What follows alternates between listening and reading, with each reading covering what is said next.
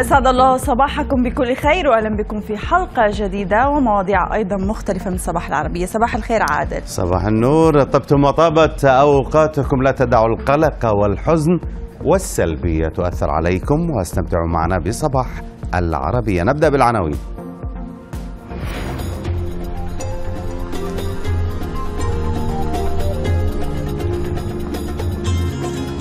الشانزليزيه والبيبسي وغيرها مسميات فرضت نفسها على شوارع الخبر السعودية بعيدا عن مسمياتها الرسمية.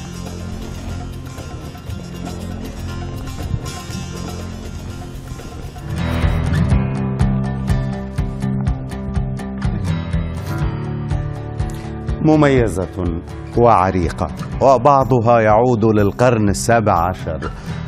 أسطح باريس تسعى لإدخال حرفة صناعيها على قائمة اليونسكو للإرث غير المادي أو صانعيها.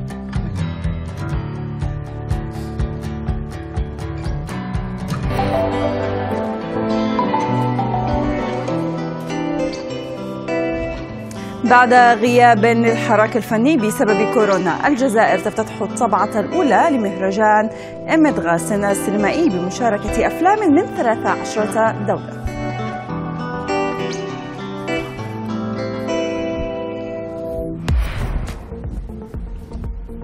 ونتابع أيضا ضمن مواضيع حلقتنا في صباح العربية.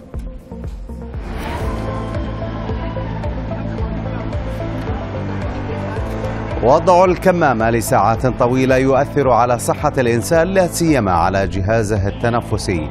نستعرض هذه التأثيرات اليوم.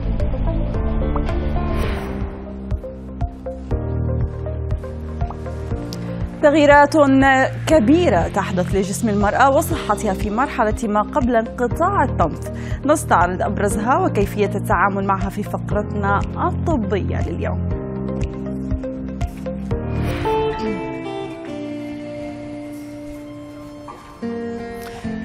كيف نمنع الأشخاص السلبيين في حياتنا من التأثير على نفسياتنا وتفكيرنا؟ الإجابة في حلقتنا اليوم.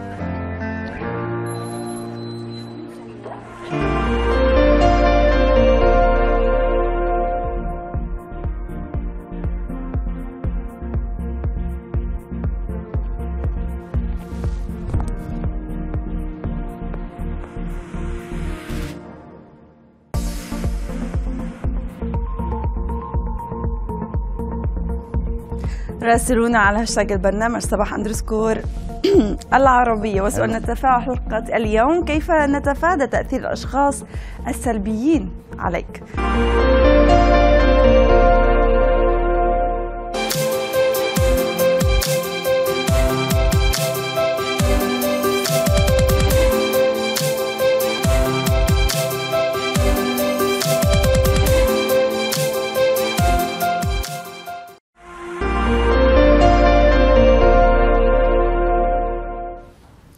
انطلقت بمدينة باتنا الجزائرية فعالية أول نسخة من مهرجان إمد غاسن وطبعا هو مهرجان سينمائي دولي حيث يتنافس 14 فيلما روائيا قصيرا من 13 دولة على درع المهرجان. ويهدف المهرجان إلى إعادة بعث النشاطات الثقافية بعد أن توقفت بسبب كورونا. وكذلك تشجيع الشباب على الإبداع السينمائي. نتابع التفاصيل. فتحت أبواب مسرح باتنا الأثري مجددا بعدما أوصدها كورونا لأشهر عديدة لتعلن عن ميلاد أول طبعة للمهرجان الدولي إمدغاسن السينمائي في حفل حضره فنانون ومشاهير. السينما معروفة يعني من زمان هي الثقافة يعني ولابد يعني الثقافة يعني تخاطب العقل ولازم نهتموا بالعقل. باش باش يكون كاين تطوير إن شاء الله من الأحسن إلى الأحسن. أجمل حاجة أنه هذه الطبعة اللي قام بها هم الشباب. وهاد كما نقولوا هذه المجموعة تاع الشباب شجعوا الشباب شجعوا الطاقة الشبانية. وقد تعذر حضور المشاركين الأجانب في المسابقة بعد قرار السلطات تعليق الرحلات الدولية بسبب الأزمة الصحية لكن أعمالهم حضرت إلى جانب أعمال جزائرية تتنافس على جائزة درع إمدغاسن مبادرة جات من الشباب ما لهاش علاقة بالدولة وعندنا في الجزائر يمكن 20 فيلم اللي تعملوا راهم مخزنين ما عرفناش ما عرفناش كيفاش نوصلهم للجمهور. ممكن هذه خط- خطوة أولى لتوصيل أعمالنا للجمهور. ويهدف القائمون على التظاهرة الثقافية إلى تشجيع الشباب على الإنتاج السينمائي والاستفادة من تجارب الدول الأجنبية المشاركة في المهرجان. إحنا فتحنا المجال لكل المخرجين الشباب وكل المخرجين العالميين آه، باش ي- يبعثونا أفلامهم. انتقينا الأفلام التي تخص الإنسانية تخص الإنسان تخص اسمها لها علاقة بالإنسانية. أربعة عشر فيلما روائيا قصيرا يمثلون ثلاث عشرة دولة تتنافس على الجائزة الكبرى. في حين تم اختيار 12 فيلما في المسابقة الوطنية. حرصت إدارة مهرجان إمدغاسن السينمائي على إنجاح أول طبعة للتظاهرة الثقافية بالرغم من جائحة كورونا. قابل ذلك إصرار على دعم الإبداع الفني واستعادة أمجاد السينما الجزائرية. فريد رشدي العربية من ولاية بتنا شرقي الجزائر. طيب. افتقدنا هذه يعني الفعاليات الفنية دائما. طيب الآن إلى ردودكم على سؤالنا التفاعلي لحلقة اليوم والمشاركة هاشتاج صباح underscore العربية وحساباتنا تويتر فيسبوك انستغرام at صباح العربية. كيف تتفادى تأثير الأشخاص السلبيين عليك؟ أنا؟ لا ما أنا ما قلت لك أنا ما. أقدرش. ما تقدر أنا ما أقدرش أتعامل معهم. يعني فترة وطالما حسيت إن هم ممكن يأثروا علي سلبا وبطريقة غير مباشرة حتى مهم. حتى لو حاولت إن أنت تفصل نفسك عنهم لا ممكن حلو. تتأثر. طيب. أول تغريدة يقول أول خطوة لكي تنجح عليك أن تبتعد عن الأشخاص السلبيين وحاط صورة آه، يعني برتقالة ها. إيه.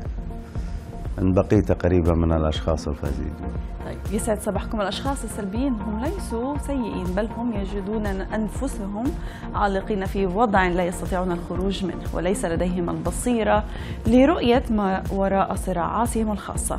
لا أتأثر بما يحاول إحباطي به ولا أبتعد عنهم بقدر ما أحاول مساعدتهم أن ما يقول خاطئ وأن يروا الحياة من الجوانب الحلوة. طيب. أه صباح الخير. على قدر الإمكان بتحول بحاول تجنبهم وأقلل التعامل معهم لكن للأسف أوقات بيكون مفروض عليك خاصة لو كان تعاملك معاه بطريقة مباشرة في العمل مثلا. يسعد صباحكم. طنش تعش تنتعش يا سلام عليك. دعاية مشروب غازي. يسعد صباحك أيضا. آه، دعونا نستمتع بالحياة ونعيش كل تفاصيلها. الأشخاص السلبيين رغم أنهم سلبيين إلا أنهم مدرسة. نتعلم منهم كيف نتعامل مع الآخرين وفق أنماط شخصياتهم وسلوكهم.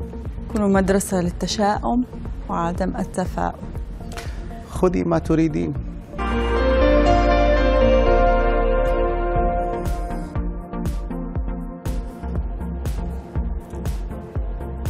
حياكم الله. على الرغم من أهمية الكمامة للوقاية من فيروس كورونا إلا أن هناك العديد من الأسئلة التي تطرح وتطرح عن صعوبات وآثار هذه الكمامة في حال ارتدائها لفترات طويلة إذ تعددت المشاكل ما بين التنفسية وتلك التي تؤثر على شكل الأنف خاصة لمن يقومون بإجراء عمليات جراحية تجميلية.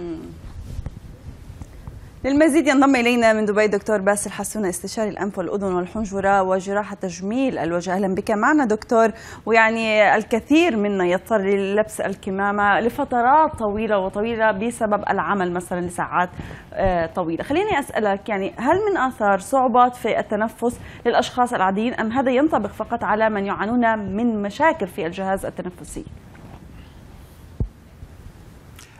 طبعا بداية الكمامة لها دور وقائي عالي جدا ولكن بعض الأشخاص عم عم بتظهر عندهم بعض الأعراض السلبية أو الصعوبات في التنفس آه، بيشعروا بكتمة خاصة نحن مقبلين على فصل الصيف وتعالي في درجات الحرارة. معظم الأشخاص اللي بيكون عندهم إشكاليات في التنفس سواء ضخامة في اللحميات مشاكل في الحساسية آه، انحراف في الوتيرة وضيق في نفس الأنف لما بيلبسوا الكمامة عندهم جهد إضافي للتنفس. آه، بشكل عام معظم المرضى أنا بنصحهم أيوة. آه، معظم الإشكاليات بتكون بسبب أخطاء معينة آه، بتكون في آه، نوعية الكمامة المستعملة أو في طريقة لبس الكمامة. أنا هون حضرت معي كمامتين شائعات. هاي هي الكمامة الجراحية وهدف الكمامات هي في منها مثلا كمامات مصنوعة من القماش. هي هدفها حماية نفسك والآخرين من الرذاذ المتطاير. هي ما هي كمامة لتنقية الهواء. الكمامات الأخرى المتداولة في القطاع الطبي هي بنسميها respirator أو مهمتها تنقية أو فلترة الهواء. وهي الكمامة بتكون محكمة الإطباق حول الوجه والهواء بمر ضمن فلتر الكمامة. فعادة جهد التنفس مع كمامة المخصصة لفلترة الهواء عالي. معظم الأشخاص العاديين بالنسبة لنا لما بيطلع على المول وغيره نحن ما بحاجة لهي الكمامة. نحن بحاجة إلى كمامة للحماية من الرذاذ يلي ممكن ينقل الفيروسات. فممكن أنت تستفيد من الوقاية بدون التعرض لمشاكل تعب التنفس إذا بتلبس الكمامة العادية اللي ممكن تكون للوقاية من الرذاذ وما تحط الكمامة بشكل محكم شديد الإطباق بحيث أنه يعمل إقفال لمجاري الجانبية للهواء. آه يعني معنى- معناته لازم المجاري الجانبية تكون سالكة وبالتالي بس هي فقط إنه تغطي الأنف والفم لعدم انتقال هذا الرذاذ بشكل مباشر. فقط هذا اللي تقوله دكتور. تماما. طيب. اذا إذا رحنا إلى إلى سؤالنا الآخر بإنه من آه، آه، يعني آه، أجرى عمليات تجميل آه، بعض العمليات التجميل قد يعاني نتيجة لهذه العملية من صعوبة في التنفس.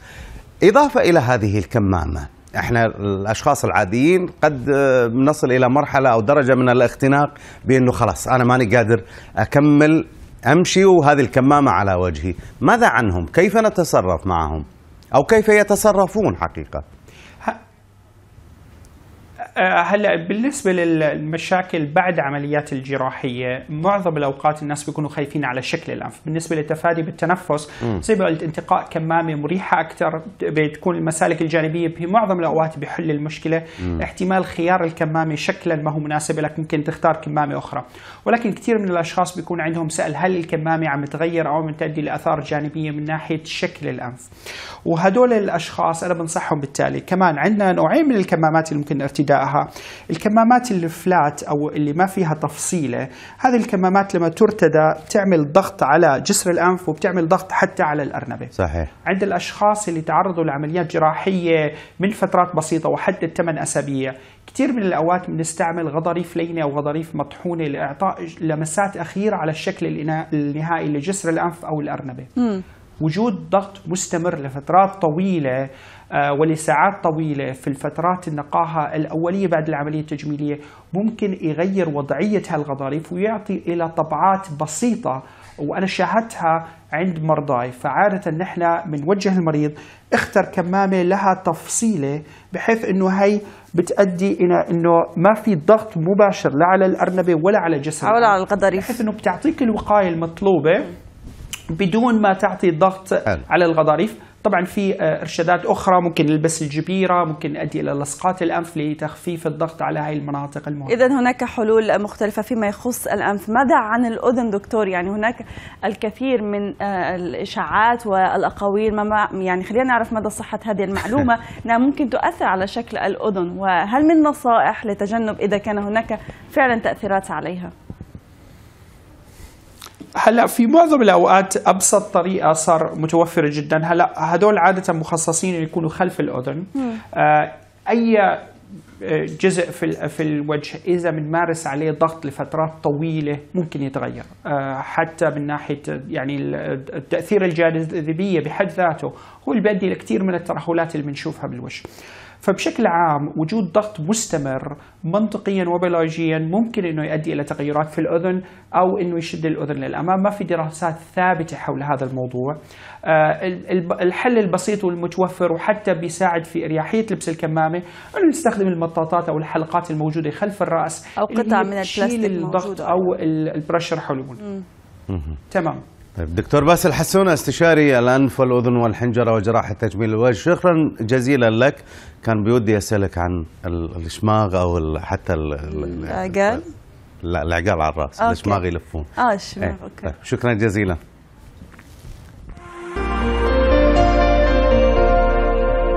في سباق التطعيم الذي تخوضه الكويت تقوم السلطات الصحية بافتتاح مراكز تطعيم جديدة لتسريع عملية التطعيم حيث تقوم بتوفير اللقاحات المتوفرة من فايزر وأكسفورد في مركز التطعيم الأخير التابع لمستشفى جابر الأحمد للقوات المسلحة. نتابع.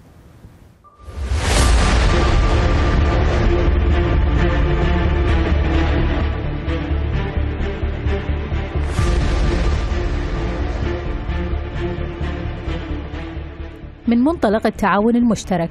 أنشأت وزارة الدفاع مركزا إضافيا للتطعيم تكون فيه الأولوية للمنتسبين للسلك العسكري وذويهم وأقربائهم من الدرجة الأولى.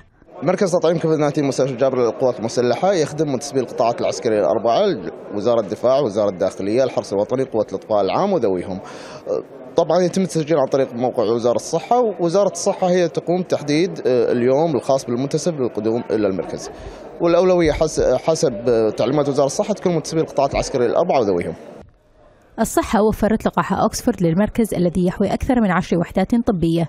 وفيما تتواصل عملية التطعيم يقوم الأطباء بتشجيع الجميع والعسكريين خاصة بالتسجيل لأخذ اللقاح.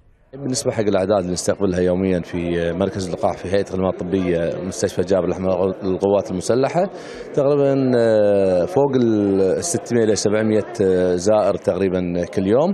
طبعا إحنا الهدف من المركز هو تطعيم أكبر عدد من الإخوان في السلك العسكري والذي ينتسبون إلى إلى إلى الجيش الكويتي ووزارة الداخلية بالإضافة إلى الحرس الوطني وقوة الإطفاء إحنا نطمح إلى إلى تطعيم أكبر عدد من الناس للوصول المناعة المجتمعية المتوقعة إن شاء الله.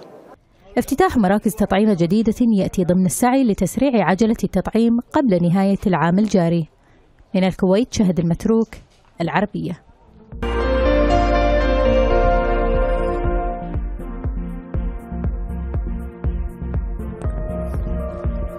حياكم الله. عندما تصل المرأة إلى سن معين يبدأ ظهور أعراض ما قبل انقطاع الطمث ويمكن أن يبدأ ذلك قبل عشر سنوات من انقطاع الطمث ويظهر تسارع الأعراض عندما يكون هناك انخفاض كبير في مستويات هرمون الأستروجين عفوا. فما هي أبرز التغيرات التي يمكن أن تعاني منها المرأة؟ وكيف تتعامل معها؟ للمزيد ينضم إلينا من جدة الدكتور محمد إدريس طبيب نساء وولادة. أهلا بك معنا في صباح العربية.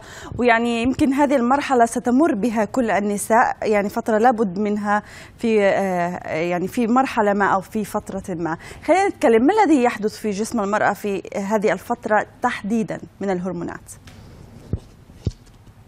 آه يا أهلا وسهلا صباح الخير عليك صباح الورد. وفعلا كل السيدات ممكن حيمروا في هذه المرحلة. عادل هذا الخبر الكويس لنا. إحنا بعيدين عن الموضوع. إحنا ما ما زلنا آه شباب. كل السيدات كل الأمراض يا دكتور. يكبرون قبلنا ب 20 سنة. إن شاء الله يا رب. يا رب. طبعا هذه المرحلة من مراحل السيدة هي المرحلة الأخيرة من مراحل القدرة على الإنجاب. آه زي ما تفضل عادل في المقدمة أننا بيبدأ هرمون الإستروجين بيقل الإنتاج وتبدأ تصير في لخبطة في الدورة هذه أول العلامات. آه ممكن تبدأ عادة بتنقطع الدورة حول سن الخمسين سنة آه قبل بعد بأربع سنوات. لكن في حالات ممكن يكون قبل هذا الموضوع في حالات قبل ال 45 في حالات قبل ال 30 ويشخص كانقطاع طمث مبكر لأسباب وأمراض متعددة. لكن السن الدارج في ال Middle East عموما وفي ال global كامل يعني على 50 51 سنة بتبدأ تنقطع الدورة. الأعراض زي ما تفضلتوا ممكن تبدأ قبلها بخمسة ستة سنوات وتبدأ بالتدريج اللخبطة تنقطع. وما نقول إنه تماما خلصنا انقطاع الدورة إلين نوصل ل 12 شهر من غير أي نزول دم أو دورة. الله يكرمكم. طيب دكتور هل في مقدمات حتى تفهم المرأة أنه هي دخلت الآن هذه المرحلة؟ وهل يمكن أن تتأخر عن سن الخمسين؟ تمد وياها. آه طيب آه الشق الثاني ممكن تتأخر على 50 ممكن في حالات إلى 50 52 55 أحيانا م. يختلف على عوامل وراثية تغذية صحة المرأة بشكل عام تعرضها لأمراض خلال فترة حياتها بالإضافة إلى أنه معلومة لصباح العربية ال- السيدات اللي بيكون عندهم حمل وولادة بيكون عندهم فترة انقطاع الطمث متأخرة شوية يعني ممكن يوصلوا لل 52 53 السيدات اللي ما عندهم حمل ولا قد حملوا ممكن يصير قبل 48 47 وممكن قبل كذا لو تعرضت لإشاعات أو أدوية أو أمراض. آه، الشق الأول من سؤالك إيش إيش كيف هي حتعرف؟ أول علامة بتجيها يصير في عندها اضطراب في آه، الدورة الشهرية بتبدأ تتقطع تيجي أكثر من مرة في الشهر تختلف الكمية من زيادة لنقصان بعدين تبدأ الأعراض تزيد ممكن يصير عندها شوية آه، توتر على قلق زي ما إحنا شايفين في الصور اللي بتتعرض الهبات الحرارة ال- ال- اللي تجيها كده في جسمها فجأة بأوقات مختلفة. الأهم حاجة أهم شيء إنه تبدأ السيدة تشعر إنها بدأت آه، تتحول من سيدة إلى أنه بدأت تصير في آه، إهمال من الناس اللي حولها. طبعا هذا غير صحيح لكن نتيجة تغير الهرمونات في جسمها بتحس أنها تبدأ مهملة تبدأ تفقد أنوثتها لأنه الأستروجين هو هرمون المزاج. ويبدأ يزيد هرم بالضبط تغيرات المزاج تبدأ تحس إنه هي بدأت تفقد هرمونات الأنوثة. يبدأ أحيانا يطلع شعر في الوجه أو آه منطقة الشنب والدقن. فهذه الأشياء كلها تأثر عليها سلبيا بالإضافة للتعرق الليلي اللي يخليها تقوم بالتالي ما بتقدر طول الصباح بتكون نشطة بشكل كويس. هذه الأشياء كلها التغيرات بالتدريج إلى أن تنقطع الدورة وينتهي الموضوع على خير. طيب دكتور يعني دكتور محمد ذكرت عدة أعمار مختلفة وقلت كمان تحت الثلاثين ممكن أنه هي تقطعها آه، الدورة الشهرية ويعني هل هو العامل الجيني الذي يلعب دورا في هذا الموضوع أم فقط أم هناك العديد من العوامل قد تساعد على انقطاع آه، الطمث مبكرا. آه، سؤال جدا مهم آه، العمر يعني زي ما تفضلتي في كثير عوامل تأثر. الجينات دور مهم يعني نلاقي مثلا العائلة هذه أو هدول الأخوات الخمسة الستة اللي هم أخوان. آه، في نفس العمر تقريبا plus minus 2 years. آه، التدخين يأثر التغذية تأثر المنطقة الجغرافية نلاقي مثلا آه، المناطق ال Europe غير شرق آسيا غير أمريكا حسب المنطقة. آه، التدخين يأثر شرب القهوة يأثر الكافيين آه، الحمل والولادة. بالإضافة أنه قبل الثلاثين هذه حالات نادرة ما تتجاوز الخمسة في المية بنسميها premature menopausal آه اللي هو يكون عندهم فشل في وظائف ال- ال- المبايض. فبالتالي آه، بيكون فقدان الأستروجين بصورة أكبر وأسرع قبل سن الثلاثين بالإضافة في سيدات بيعملوا عمليات جراحية بيستأصلوا الرحم بيشيلوا المبايض فبالتالي يفقد المبيض آه وظيفته أو الهدف من وجوده لأنه خلاص. أكثر عرض. طيب هل تستطيع المرأة دكتور آه، ربما يعني زيادة عمل الأستروجين من خلال مكملات غذائية أدوية بالتالي على الأقل أنه تمد في هذه الفترة أو حتى آه، يساعد جسدها على التأقلم؟ والله إحنا في هذه الفترة بنحاول إننا نعالج الأعراض لأنه هذه فترة زي ما تفضلنا في البداية حتمر فيها جميع السيدات وإن شاء الله فترة وتمر على خير. مهم جدا الدعم النفسي لل- لل- للناس المحيطة بالسيدة. آه، بعض الحالات 20 إلى 30% بيستدعي حالتهم آه، العلاج إن كان نفسي أو دوائي زي ما تفضلت العلاج ال- الهرموني المكمل أو بعض الكريمات لأنه أحيانا البري menopausal بيكون عندهم أحيانا آه، جفاف في المهبل بيكون عندهم مشكلة في الشعر تساقط الشعر بيكون عندهم يبدأ آه، الفيتامينات بتقل هشاشة العظام. فنحتاج بداية للعلاجات التكميلية. لو كان عندهم مشكلة في التغذية أو عندهم مثلا depression ما بيأكلوا بشكل مستمر حنلجأ للمكملات وممكن الأدوية لكن النصيحة الأهم لا يأخذوا الأدوية قبل ما يرجعوا لنا إحنا الدكاترة. جيد. طيب الحق يعني آه، الحقيقة الهبات الساخنة دكتور يمكن من آه، يعني آه، الأعراض الشائعة جدا وبتكون مزعجة للسيدة في هذه الفترة. هل الع- العلاج الهرموني قد يفيد في هذه الحالة أو فقط يعالج أشياء أخرى؟ يمكن هناك بدائل له. آه لا شوف الحبات السا يعني هو ال- العلاج الهرموني يعالج المشكلة ككل لكن مش علاج إيه جذري. علاج الهبات بيساهم في تخفيف.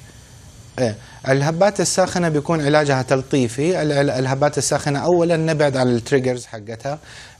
في triggers لما الوحدة بتسويها بيزيد آه، حصول أو تكرار الهبات منها شرب القهوة التدخين عدم انتظام النوم آه، طبيعة الملابس عدم ممارسة الرياضة ال stress اللي هي فيه من محيطها هذه triggers بتخلي الهبات الساخنة تتكرر وتجي بشكل frequent. أكثر آه، العلاج حقها نغير نوعية الملابس نكون في منطقة باردة نخلي جنبنا زي ال- الكمادات الباردة بنكون في معانا زي ما شفنا في الصور. آه، مروحة أو شيء يبرد علينا نكون في أجواء عمل آه، باردة مش نتعرض للحرارة لأنه في وقتها هي هبات بتيجي في اوقات بسيطة آه، متكررة. الجسم بيشعر إنه الطبقة الخارجية الجلد فيها حرارة آه، بشكل كبير فبالتالي تبريدها أو الكولينج حق الجسم بيكون أفضل. طيب الدكتور آه، أحد الزملاء يسألني يقول الدكتور محمد قال انها تنكد على زوجها قبل انقطاع الطمث ولا لا؟ أكيد هتنكد عليه. طيب الان خلينا نذهب هي. هي من بعد الزواج. من بعد الزواج مبلش طيب خلينا نذهب إلى أسئلة المشاهدين دكتور محمد. هذه أسئلة عامة الإجابة عليها باختصار إذا تكرمت. ما خطورة الحمل المتعدد للأم وأيضا للطفل دكتور؟ خطورة الحمل المتعدد. سؤال جدا مهم. الحمل المتعدد في كثير من السيدات بتقول يعني بيجي في بالهم إني بدي أحمل توأم مرة واحدة وخلاص وأرتاح. آه هذا الجانب الحلو من الموضوع لكن الجانب ال- المش حلو إنه السيدة لما بتحمل بتوأم انتفاخ البطن أو حجم البطن بيكون أكبر فبالتالي حج... آه، آه، خطر الولادة المبكرة بيكون أكثر الاحتياج ال baby لحضانة أكثر الأمراض اللي بتكون لوجود توأم من ناحية إنه مكان المشيمة ممكن baby يكبر على حساب الثاني. آه الأشياء اللي النزيف ما بعد الولادة نتيجة كبر ال- ال- الرحم وما بيقدر يرجع ثاني مرة. هذه كلها من المخاطر. ترى مخاطر serious مش مخاطر مم. كلمة كده في في حاجة بسيطة. لا هذه تؤرق أي طبيب نساء ولادة لو جت المريضة هذه. لكن هم بيشوفوا الجانب الحلو إنه والله توأم مرة واحدة وخلاص. نخلص. طيب باستفسار آخر دكتور. دكتور ما هي أسباب تفضلي. الاسقاط المتكرر أو يمكن يقصد الإجهاض المتكرر؟ هل يكون السبب من عدم انتظام الهرمونات أم أمراض أخرى؟ الإجهاضات المتكررة yes أو أو ال recurrent abortion آه فعلا يعني هي أحيانا أسباب أخرى واحيانا آه أمراض واحيانا بتكون من غير سبب. عادة إحنا بعد الإجهاض الأول ما بندور سبب بيكون من الله ونسبة كبيرة منه بيكون بسبب وجود تشوه تكويني للجنين لكن لو تكرر ال- الإسقاط بنلجا نعمل تحاليل للزوجين. يعني هذه رسالة للزوج حتى لا إنه هو يقول إنه هذه اجهاضات متكررة سبب ال- الزوجة. لازم هو يعمل. ممكن التشوهات ال ال ال في الحيوانات المنوية تعمل. ممكن تشوهات خلقية في شكل الرحم تعمل. بعض الأمراض في الدم الذئبه الحمراء كل هذه أشياء ممكن تعمل. فبالتالي بعد الإجهاض الثاني ممكن تراجع الطبيب ونعمل تحاليل زيادة وأشعة وسونار للطرفين للزوج والزوجة. دكتور محمد إدريس طبيب نساء وأولادة شكرا جزيلا لك على كل هذه المعلومات. يعطيك ألف عافية. سعداء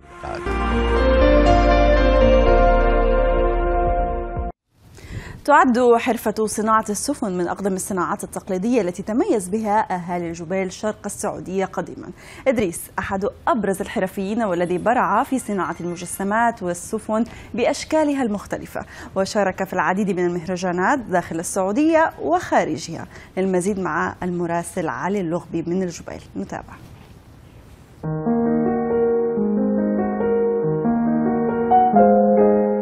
خمسون عاما في صناعة السفن والمجسمات الخشبية إنها رحلة الحرفي إدريس البعينين التي كانت بداياتها تشكل مصدر رزق لتتحول إلى شغف وانتماء برع خلالها في إبراز تاريخ وتراث الجبيل. لي خمسين سنة وأنا أمارس هذه المهنة اللي هي صناعة السفن والمجسمات الخشبية. من عمري الصغير كنت أروح مع الوالد البحر وأشوفه وهو يقوم بصيانة السفن. بعدين صار عمري 18 سنة صار عندي شغف أن أمارس هذه الهواية وحبيت يعني.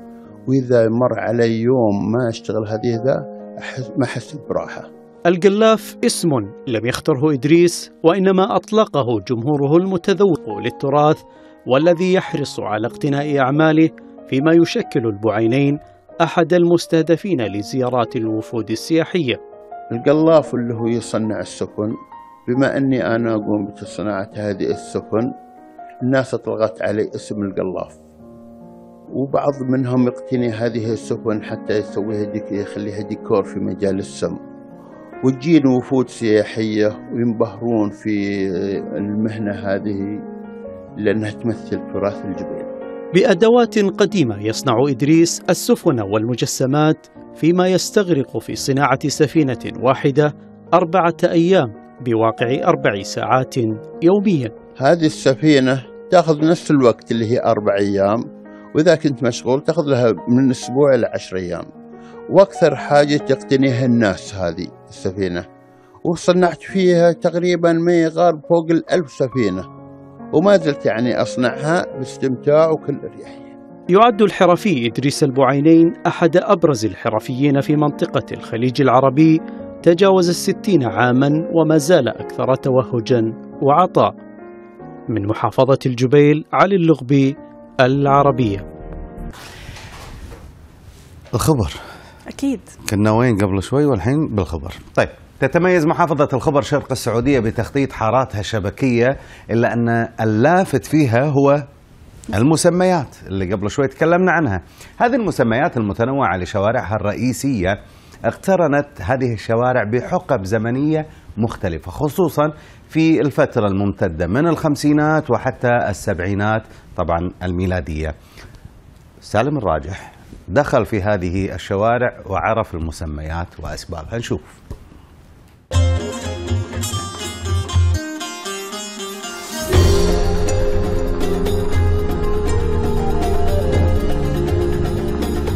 نيويورك الشرق هكذا تسمى محافظة الخبر التي تتميز بتخطيط حاراتها الشبكية. ولكن الشيء اللافت فيها هو المسميات المختلفة لشوارعها الرئيسية.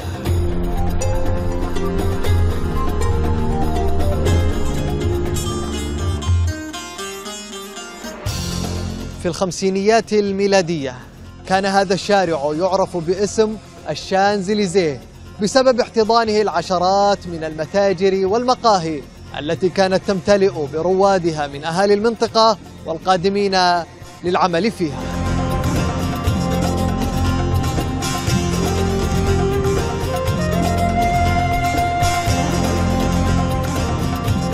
أما هذا الشارع الممتد فكان يحتضن مصنعا للمشروبات الغازية في السبعينيات. لذلك هو معروف حتى اليوم باسم شارع البيبسي. الموقع هذا معروف باسم إشارة ديسكفري. هذه الإشارة هي التقاطع من شارع البيبسي مع شارع الملك عبد العزيز. المجسم إهداء من عائلة القصيبي لمحافظة الخبر عام 1985 بمناسبة رحلة صاحب السمو الأمير آه، سلطان بن سلمان إلى الفضاء.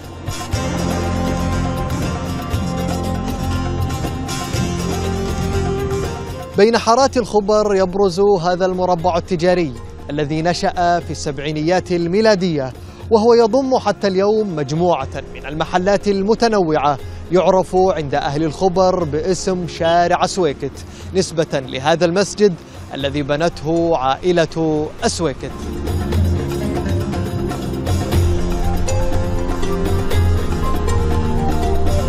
من الخبر سلمى الراجح العربية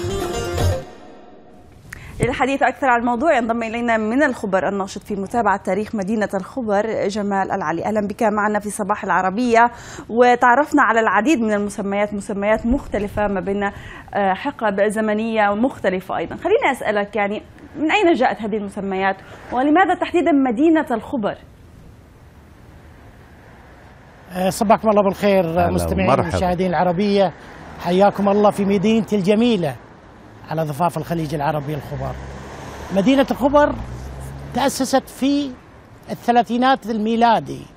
خططها سكوت هاريسون مهندس في أرامكو على نظام نيويورك. كانت في البداية موظفين أرامكو حيسكنون في الخبر. تغيرت أرامكو في القرار وسكنوا داخل المشروع الأرامكو. طبعا مساح الخبر كان وياه كان محمد الزاهد. خططت على شكل افنيوز على شكل تقاطعات. 28 تقاطع بمسميات أمور المملكة العربية السعودية. الله يحفظهم ويطول بعمرهم. الشيء الجميل في مدينة الخبر ان إنها خليط من جميع الجنسيات، جميع القبائل من أرامكو جمعت كل الناس في هذه المنطقة. والخبر بالذات يعني إحنا لما نجي نتكلم عن الخبر ميناء الخبر يعتبر أول ميناء أرامكو جابت البضائع من البحرين لإنشاء الأشياء داخل أرامكو. أيه. لما نجي للمدرسة في الخبر المدرسة المحمدية تعتبر أول مدرسة في الخبر. لما نجي للمستشفيات في الخبر أنا جالس جنب المستشفى الولادة اللي أنا انولدت فيه في 1959 يعني طولة العمر. مستشفيات في الخبر على مستوى راقي. الله يطول عمرك. والمعلومية ترى لما نتكلم عن شارع خالد وشارع الشنزلزيه عرضه 10 متر وطوله 2 كيلو ونص. كان في محلات تجارية أكثر من 100 محل مم. ومقاهي بجميع الدرجات. على طيب. مستوى راقي بضاعة من أوروبا خلي من أمريكا على مستوى. حلو. أستاذ جمال خلي خلي أسألك. إحنا يعني مثلا أنا واحد من الناس عندنا مثلا بالكويت في شارع لا اسم ولكن الناس متعارف عليه إنه يسمونه هذا شارع المطاعم. لأن في كله مطاعم ويغلب عليه نعم. المطاعم هذاك شارع الحب لأنه ممشى للناس وغيره اليوم بالخبر في مسميات تذكرك بشيء معين أو تذكر خلينا نقول جيل الشباب بوقتها بجيلك بأشياء معينة مرتبطة بالذاكرة شوف أنا أتكلم عن شارع شارع خالد بالذات هي. يعتبر من الشوارع الأساسية لأن بدايته في الخمسينات والستينات والسبعينات والثمانينات هي. بداية يعني الارامكو مع الشركات الأجنبية اللي موجودة في البلد وعوائلهم كان يوم الخميس أخوي إيه؟ كان يعتبر يوم استثنائي العالم الشارع فوق بعض ليه؟ لأن شا يسمونه شارع يوم التسوق إيه؟ وبعدين الجمعة عطله سوبر ماركت يعني إجازة أرامكو إيه؟ إجازة كان الخميس والجمعة إيه؟ يوم الخميس خاصة لما تكون سوبر ماركت الهزاع. آه هذا الشارع فيه ثلاث فنادق. فندق الجابر فندق النصر فندق البحرين. زي. أوائل الفنادق اللي صارت في الخبر استوديو. يعني يعني إحنا في ذاك الزمان لما تشوف ثلاث استوديو استوديو زماني استوديو عادل استوديو الأمراء استوديو العربي. في تشكيلة في هذا الشيء. يذكرنا بالكويت شارع فهد السالم. أيوة. تذكر إحنا كنا نروح قبل 40 سنة 35 سنة؟ تروح شارع إيه فهد السالم؟ إيه أنا أقول يعني أنت أنت أنت أنت شبابك طفولتك هذه يعني شانزليزيه. ليش سموه شانزليزيه؟ ليش الت... إي ليش ليش هذا الاسم ملتصق فيه؟ الشانزليزيه الشنزلزيه اللي عندها اسباب أول شيء المحلات التجاريه الراقية أيه. محلات على مستوى راقي راقي راقي أنت تتكلم ما تتكلم عن عن أسواق شعبية أيه. المحلات اللي كانت فيها التاجر يعني في محل في شا في أول الشارع هذا أيوة. اسمه مخزن السرور أيه. مخزن السرور كان هذا جميع التحف القديمه اللي لها مية سنة تحصل الأوروبيين والأمريكان فوق بعض عشان يشترون أه. يعني في أشياء يعني كان في شارع حق في محل يماها حق الجني كان يبيع قبل 40 سنة يبيع آلات موسيقى. نعم. أورج وبيانو وغيره. يعني أنت تتكلم أطلب تجد في هذا الشارع على مستوى راقي وليس سوق شعبي. أنا ما أسميه سوق شعبي أسميه سوق على مستوى يمثل هذه المدينة الجميلة. طيب سيد جمال يعني شفنا من خلال لما نيجي في الخبر آه تفضل. أنا أقول لك المطاعم في الخبر يعني في شارع 28 أو شارع البيبسي أي شنو مطعمك المفضل جمال؟ جلاس في ذاك الزمن مطعمي كان مطعم اسمه على على الميزانية ذاك الوقت مطعم في الشارع هذا إيه؟ اسمه مطعم يلدز لار يلدز حق واحد من إيه؟ الجالية اليمنية إيه؟ اسمه عبد القوي الصباحي؟ سواه على مستوى راقي راقي راقي يعني في ثلاث أربع مطاعم في في مطعم كان على البحر اسمه العوامة آه عائلة الأنصاري جابت طيب. هذا المطعم سحبته وحطيته جنب المريديان في الخبر يعني مم. تتكلم طيب. عن مطعم مكسين. آه كيم جلاس يلدز خليني بس أسألك قبل ما الوقت يخلص عايزه أسألك شفنا في التقرير شارع البيبسي فضل. ويعود إلى فترة السبعينات. كيف جاءت هذه التسمية مرتبطة بإيه تحديدا؟ وكمان آه سويكت تقريبا؟ إذا ما كنتش غلطانة. السبب الرئيسي خليني أقول لك دائما الشوارع تنسب لحدث معين. يعني أيوه عايزين نعرف هذه الأحداث 28 سريعاً. مصنع مصنع مصنع العم أحمد وحمد القصيبي الله يرحمه وسكن الجنة. آه كان على نفس الشارع فالناس أقرب لها من 28 تقول مصنع البيبسي. أيه. لما تيجي في شارع سويكت في اثنين حدثين. حدث اولا لأن مسجد العم سالم السويكت في شارع السويكت اللي هو شارع الأمير بندر وانه يعتبر الشارع النسائي في الخبر. نعم. وفي محل تجاري للعم عيدان الدوسري اللي يعتبر أول محل ملابس نسائية في هذا الشارع. الله يرحمه وسكن الجنة. فدائما الشوارع تنسب للأشخاص اللي كانوا في هذا الشارع لأسهل للناس. يعني مو كل الناس متعلمة تقدر تعرف إنه هذا شارع 28 أو شارع معين. لا طيب. تتكلم عن آه، مكان معين تقول والله موجود فيه أساسا. أستاذ جمال أنا أدري والله اللي قاعدين يشوفونا الحين ومن أهل الخبر ولا من من الجيل جيل الطيبين قاعد يفرك الايد بالايد إن شاء الله آه، كل أيامكم سعادة يا أهل الخبر و اليوم. قلبت المواجع. لا لا. أنت قلبت المواجع على نعيد لك. الذكريات بالعكس. العالم تتذكر هذا الشارع. إيه. يا لا لا قلبت المواجع إن هذا الشارع إيه. فعلا كان يوم الخميس. والأيام صار الأيام مرتدى لكل ال ال ال.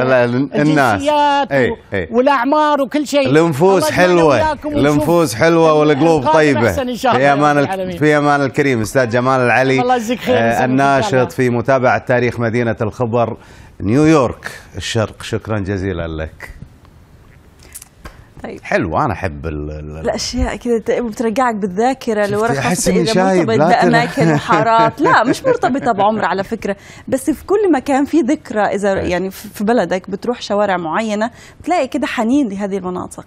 أي والله. طيب ننتقل إلى الموضوع التالي في حلقة اليوم. تعمل وزارة الثقافة الفرنسية على إدراج حرفة صانعي أسطح باريس التاريخية وذلك ضمن قائمة اليونسكو للتراث غير المادي. شيد البعض من تلك الأسطح أثناء حكم الإمبراطور الفرنسي نابليون الثالث والزميل ليث بازاري. والتفاصيل طبعا معه في هذا التقرير قبل أن ينضم إلينا. نظرا للإرث التاريخي الذي تمثله الأسطح الباريسية هذا وإجبار بلدية باريس مالكي الأبنية في العاصمة الفرنسية على الحفاظ على المظهر الأصلي لتلك الأسطح التي يعود تاريخ البعض منها إلى القرن السابع عشر. من المرجح أن تختار منظمة اليونسكو حرفة صانعي تلك الأسطح لتكون ضمن الإرث العالمي في قائمة التراث الثقافي غير المادي والتي التزمت بها وزارة الثقافة الفرنسية. ففي الخامس عشر من آذار مارس قد تختار روزلين باشلو وزيرة الثقافة هذه الحرفة لتكون ضمن إرث اليونسكو بعد موافقة الرئيس ماكرون على ترشيح حرفة صانعي الأسطح لهذه المرتبة. Et les toits en zinc de Paris, شيدت الأسطح الباريسية المصنوعة من الزنك في حقبة البارون أوسمان ونابليون الثالث في منتصف القرن التاسع عشر. وهنا بدأ الحرفيون باستخدام تقنية بناء الأسطح التي أصبحت اليوم تحمل بصمة باريس. بلدية باريس ولأسباب جمالية اختارت بناء الأبراج الحديثة خارج وسط المدينة التاريخي الذي نجده على ارتفاع منخفض بهذا اللون الخاص أي اللون الزنكي. على حرفي صناعة الأسطح الباريسية أن يكون ملما بجميع أساليب بنائها عبر التاريخ. فالبعض منها مبني من القرميد الذي نجده في أحياء باريس القديمة والبعض الآخر من النحاس وأخيرا الزنك الذي يغطي معظم أسطح العاصمة الفرنسية. كل أسبوع تحتاج هذه الحرفة إلى 500 عامل أو حرفي إضافي للعمل على ترميم أو بناء أسطح مدينة الأنوار. أعتقد أن إدخال أسطح باريس ضمن قائمة اليونسكو للتراث أمر جيد. أجد تلك الأسطح أنيقة وذات قيمة تاريخية. أحب كثيرا اللون الرمادي الذي يشكل أسطح باريس. إدخال حرفة صانعي الأسطح في قائمة اليونسكو يحميها من الاندثار كما بعض الحرف التي لم تعد تمارس. ليث بزاري العربية باريس. اشرب ماي. صحة. طيب الحديث عن الموضوع ينضم إلينا من باريس ليث بزاري اليوم آه، الأجواء عندك حلوة شكلها. بونجور مسيو ليث طلع في شوية شمس. ذكرتنا يا عادل رجعتنا إلى الخبر وإلى شوارع الكويت وشوارع المطاعم. هو مش سايب مكان على رايح. ترى هو شايب. ليث. لا لا شباب. طيب ليث اليوم بنتكلم هذه الشوارع جميلة أكيد الواحد يتمشى فيها الشانزليزيه وإن كان في في فرنسا وباريس لكن أيضا مضرب مثل. اليوم إحنا نتكلم عن حرفة صناع الأسطح. ليش معنى هذه الحرفة يا ليث؟ في حرف كثيرة في فرنسا من الممكن تسليط الضوء عليها. ليش هذه الحرفة اليوم؟ حتى لا تقول خذيته من وقتي. نعم صباح الخير لك عادل صباح الخير مروة.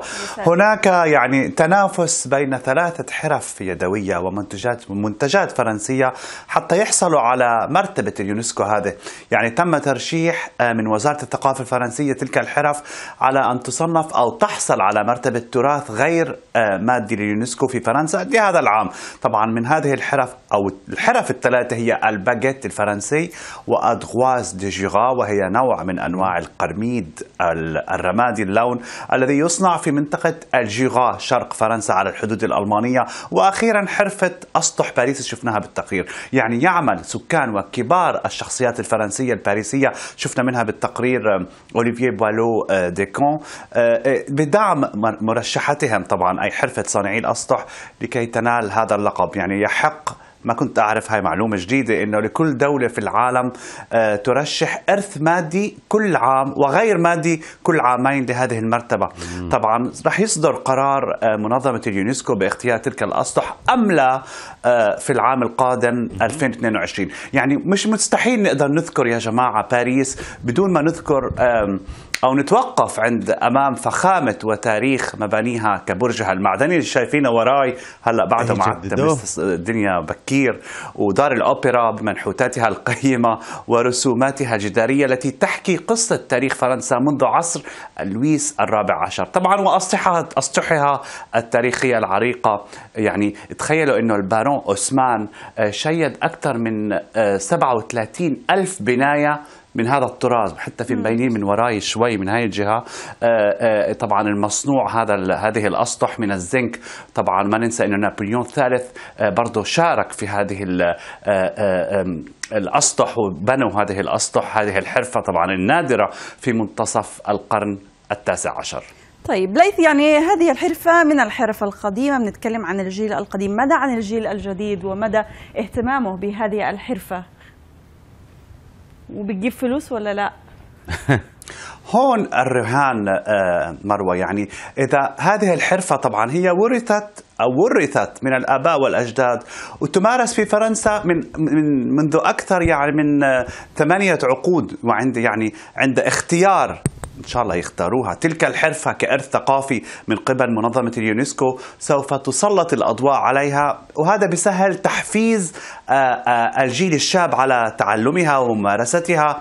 بالرغم من أن صعوبة ممارستها أحيانا بسبب طبعا الأحوال الجوية. ما ننسى إحنا بالجزء الشمالي من الكرة الأرضية وبأوروبا خصوصا تتوقف الورشات أو الورشات عندما يصبح البرد قارصا. وبالصيف عندما ترتفع درجة الحرارة عن 35 مئوية آه، في باريس. يعني في كتير حرف آه، عادل ومروة لم يعد أو لم يعد آه، للجيل الشاب الرغبة رغبة من بتعلمها لصعوبة إتقانها. بعطيكم مثلا يعني في كتير مجهود جسد جسدي في تبليط شوارع باريس القديمة. أكيد شفتوا قبل هالمرة البلاط الصغير أو هي القطع الحجار الصغيرة تصفيتها في الشوارع. هذا باخذ كتير آه، وقت وجهد وفي مهن أخرى مثلا البلانور يعني هي حرفة نادرة وعم تتقلص وممكن تنقرض. شنو شنو هي الحرفة هذه؟ الشخص هو الذي يقوم بتصليح. هاي الحرفة اسمها بلانور آه، هي تصليح آه، الصواني المسطحة التاريخية حلو. يعني بيكون ضربة المطرقة بتذكر عملنا عنها في صباح العربية قبل كم عام إنه تبين كيف من ضربة مطر المطرقة على على الطاولة أو على السطح أو على الصينية بيقدر الشخص يعرف إذا استوت ولا لا فهاي أكثر اللي بيشتغلوا هالحرفة هي ناس كبار بالسن للأسف وصعب ما في مدارس يتعلموها حلو. الاشخاص بل هي تمارس أو تورث من أب عن جد لازم يكونوا طبعا ملمين بكل أساليب البناء شكرا جزيلا لك ليت على وجودك معنا في صباح العربية. ميرسي مسيو ليت صباحك.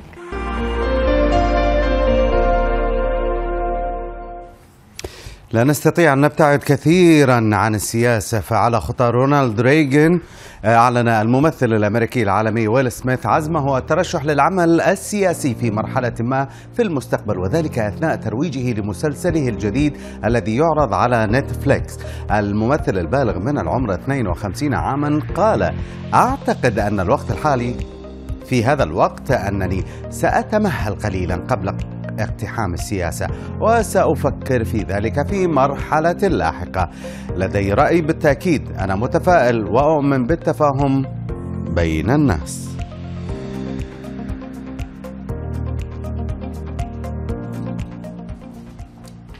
سقطات.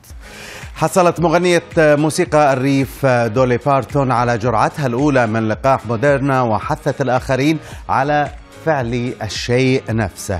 في مقطع فيديو نشر على وسائل التواصل الاجتماعي الخاصة بها هذه النجمة البالغة من العمر 75 عاما ساهمت في تمويل لقاح موديرنا وتبرعت بمبلغ مليون دولار في الأيام الأولى من هذا الوباء.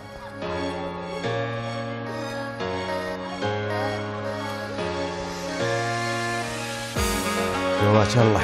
لكل عشاق الموسيقى الموسيقى. لكل عشاق الموسيقى الكلاسيكية في ألمانيا. لا داعي لليأس. إذ أصبح باستطاعة سكان فرانكفورت مثلا المتعطشين للثقافة. الآن الاتصال لطلب حفل موسيقي. يقدم أعضاء الأوركسترا عروضهم على سلالم الأشخاص مع اتباع الإجراءات إجراءات التباعد الاجتماعي. تستمر الحفلات الموسيقية ما بين سبعة إلى عشر دقائق وهي مجانية ويمكن حجزها مسبقا على الإنترنت.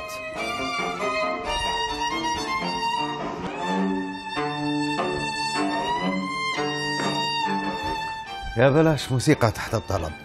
قال توشيرو موتو الرئيس التنفيذي للجنة المنظمة للأولمبياد أولمبياد طوكيو 2020 إن اللجنة تخطط لإضافة 12 امرأة إلى مجلس إدارة اللجنة لترتفع بذلك نسبة تمثيل السيدات إلى 42% وكانت سيكو هاشيموتو رئيس اللجنة المنظمة قد تولت منصبها الشهر الماضي بعد استقالة يوشيرو موري بسبب تعليقات ضد النساء.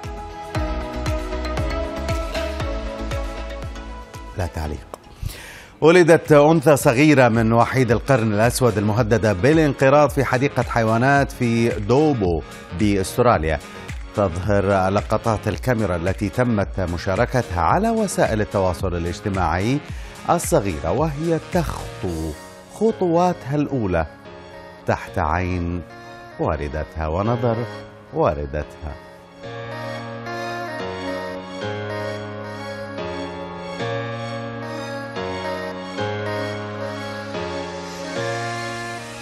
كل أم وحيوان يعتز بنطفته الآن إلى فاصل. لنعود بعدها إلى صباح العربية كونوا بخير دائماً.